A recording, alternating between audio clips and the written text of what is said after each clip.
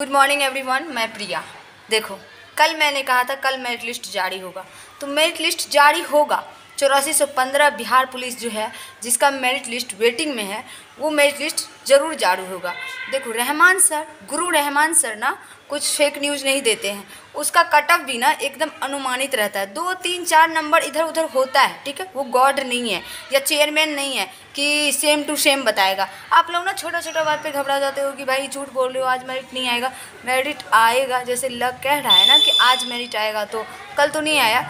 कल नहीं आया। आज टेक्निकल इशू की वजह से नहीं प्रकाशित हो सकता है। जैसे कि रहमान सर बोले हैं, मुझे भी एक न्यूज़ मिली थी। मैं आप लोग को फेक न्यूज़ नहीं देती हूँ, जैसे कि आप लोग को पता होना चाहिए। अगर मैं फेक न्यूज़ देती हूँ ना तो आज मेरे दस हज़ार सब्सक्राइबर हो जाते अगर बिहार पुलिस ये, बिहार पुलिस वो देती तो। आप लोग ना गुस्सा जाते हो।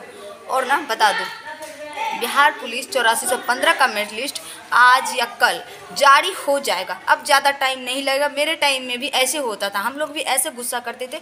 बोल रहे हैं, आज देंगे, आज दिया नहीं। लेकिन एक दिन एक यूट्यूबर बोला था, जो वो यूपी पुलिस थे, वो बोले थे कि आज चार बजे जारी होगा तो चार बजे जारी हुआ था। आप लोगों ने छोटा छोटा बात पर मुँह मत फुलाया जो करो गुब्बारा की तरह। और मुझे जो कमेंट करने लगे तो अगर सर फ़ोटो में डाल देती हूँ कम्युनिटी में तो बोलता कि मैंने सोचा था कि आप सिंगल हो यार। शादी से पहले सब सिंगल ही होते हैं। ये बात आप लोग माइंड में डाल लो। और ना मैरिज लिस्ट कल और ये, कल या आज आज या कल, दोनों में से कभी भी जारी हो जाएगा। आप लोग देख लेना।